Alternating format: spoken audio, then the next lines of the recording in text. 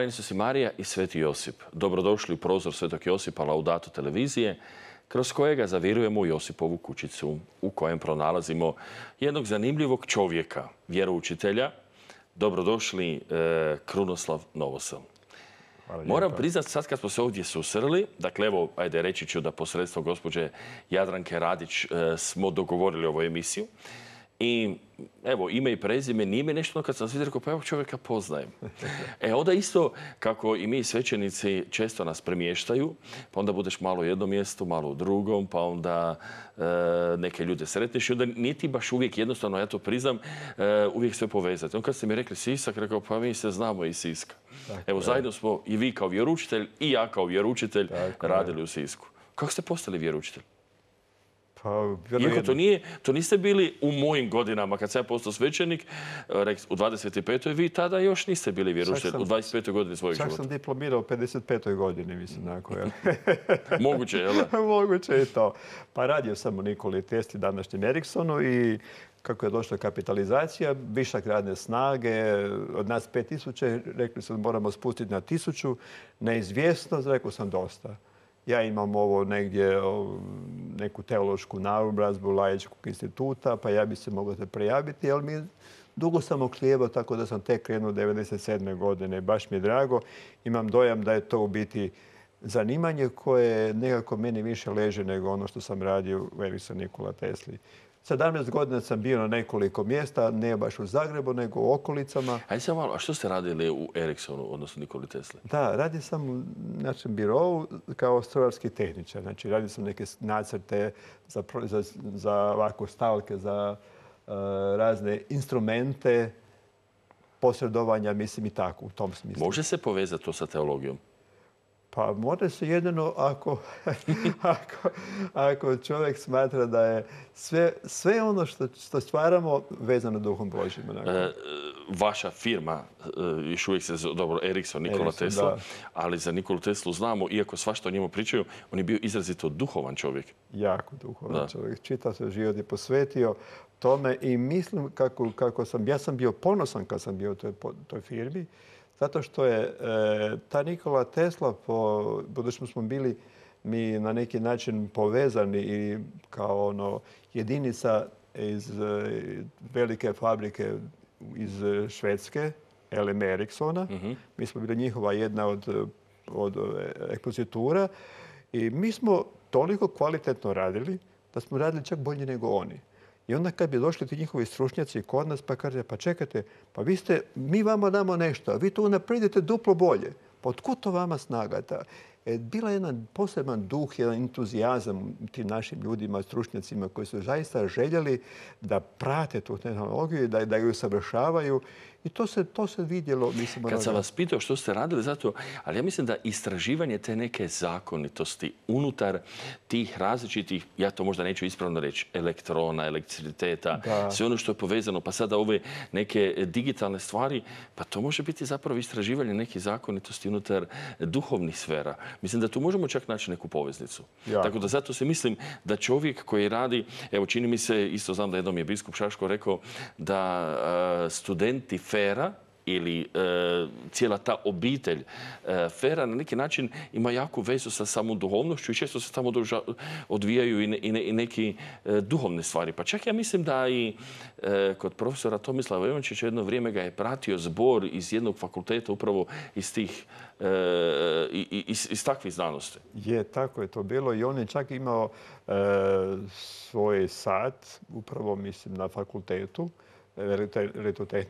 elektroničkom i jako, su, jako, je bilo, jako je bilo puno interesirane kandidata upravo na njihovim, njegovim satima. O tome nam je pričao i bio jako sretan zadovoljan. Bi rekao, vidio, vidim da u tim mladim ljudima, da, bi mogli napredovati, treba jedna dodatna dodatni impuls, uh impuls duha Božjega, mislim. Zapravo nema područja kojim se čovjek bavi, a da unutra ne bismo mogli e, pronaći Božje dijelo, ili pak da svako naše djelovanje bismo trebali Bogom na neki način oplemeniti ili dotaknuti ili e, protkati? bez toga, bez toga I kako je bilo onda e, prebaciti se iz e, jednog ovako svjetovnog skroz u jedno duhovno područje, odnosno iz jednog elektroničnog, mehaničkog djelovanja u odgoj mladih ljudi? Što bi pa rekao profesor Galo, ukročenje mladih lavova. Baš tako. Pa da iskreno kažem, osjećao sam nutarnji poziv. A ono sve uzeti dnevnik, znači pred mlade ljude, biti, biti neke, to me jako plašalo i strašilo. Pa kako ću ja, pa to nisam nikada činio. Doli sam znao sa svojim djecom, znao sakupljati mlade oko sebe, društvo i to. Ali baš tog iskustva nisam imao, trebala mi je podrška. Mislim, dobio sam nekoliko prijatelja koji su me zahrabrili.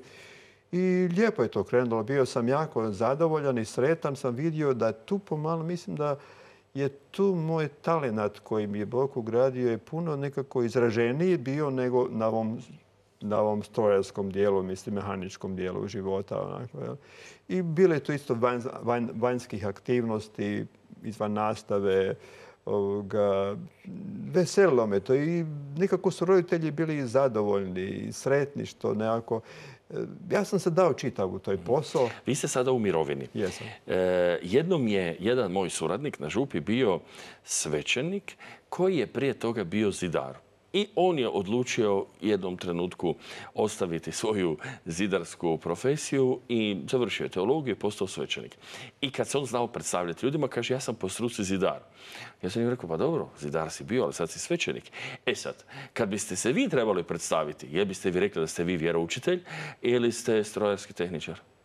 Pa ja mislim da sam ovo drugo vjeroučitelj sigurno. Da, mi, da mi to nekako... Ono, ono je bilo nekako više izbor roditelja i nastavak svega toga.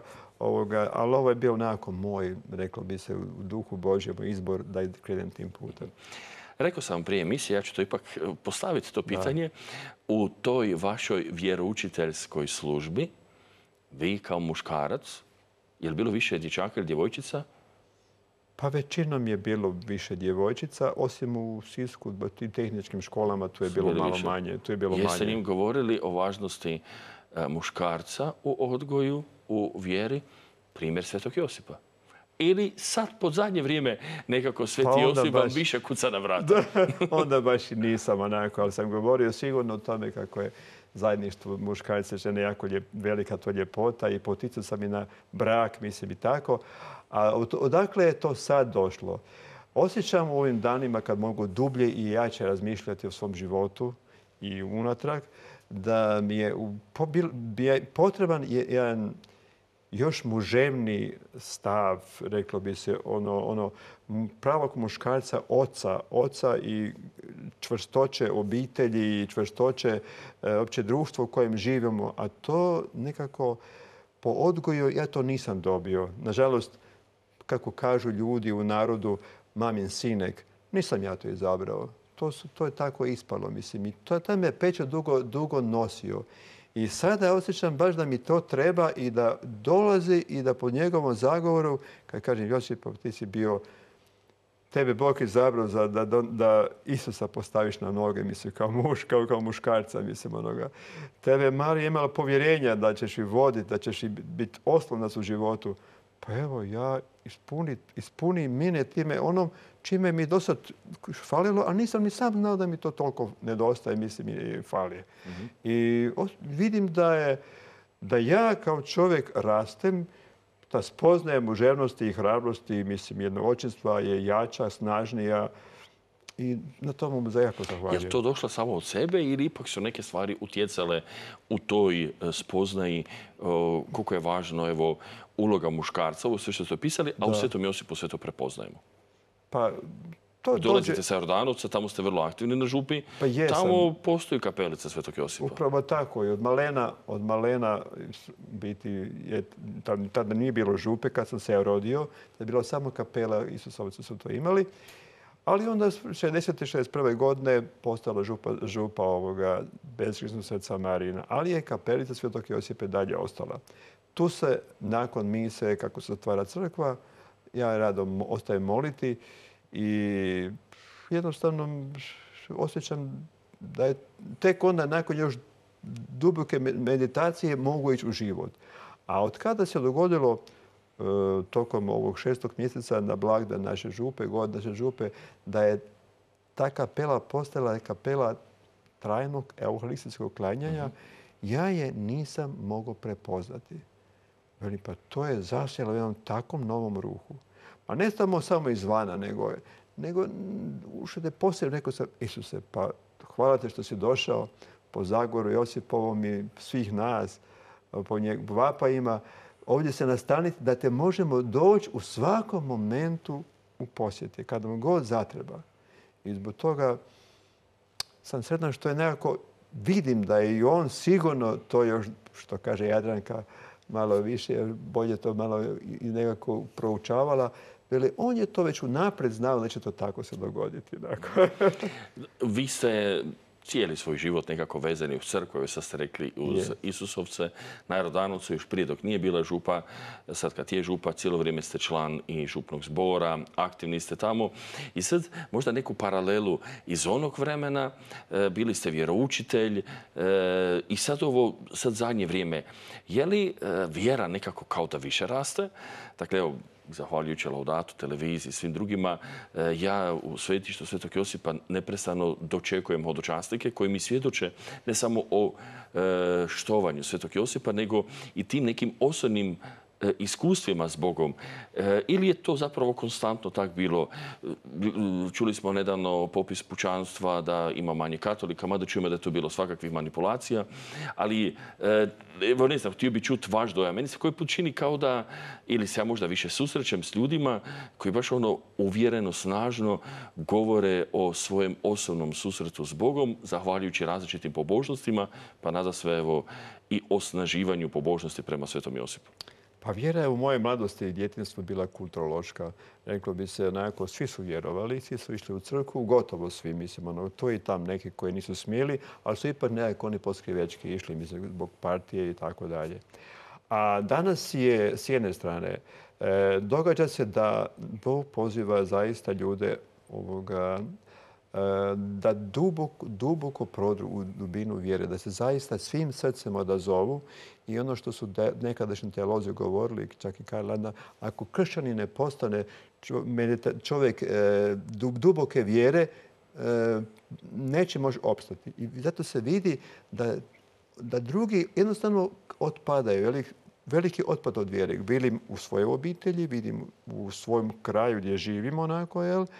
ali se zato događa ti pojedinci koje Bog poziva da, da, da zaista postanu kao lajci, odani Bogu i da žive pravi onaj duhovni život, zajedništvo ljubavi oca, sa, sa, sa, ocem i sa sinom i sa gospodom i svetim Josipom.